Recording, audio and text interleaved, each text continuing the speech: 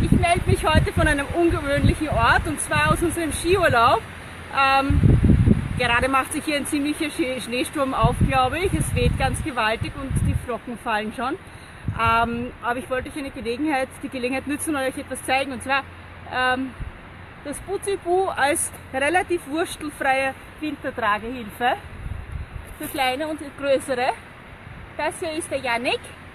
Sag mal Hallo Janik. Hallo. Wo bist denn du drinnen, Janik? Herr Janik hat sich sehr gemütlich gemacht. Er hat heute früh schon ein bisschen das Rutschen auf der Piste geübt. Am meisten hat er gelacht, wenn er im Schnee herumgekugelt ist. Ähm, ganz ungewohnt, weil meine anderen Söhne haben das nie so lustig gefunden wie er. Und jetzt ruht er sich hier hinten ein bisschen aus. Und ich wollte euch das zeigen.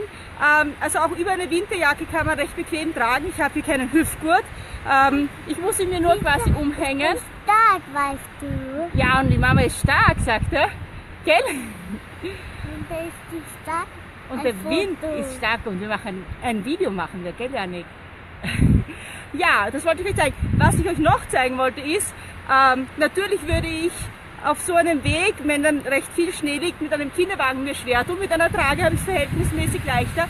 Was ihr aber auf jeden Fall haben solltet, sind wirklich gute Schuhe. Ich hoffe, ich kriege das jetzt da irgendwie drauf. Ähm, aber das Gelbe, was ihr seht an meinen Schuhsohlen, das sind Spikes. Achtung! Ich hoffe, ihr habt das gesehen. Ich will nicht allzu lang auf einem Bein herumturnen. Ähm, ja, also mal schöne Urlaubsgrüße. Wir sind hier in Mönchkirchen, also nicht ganz weit weg von Wien, aber immerhin weit genug, dass hier ein bisschen Winter reinkommt und ein bisschen Schnee und nicht nur Regen wie in Wien. Ähm,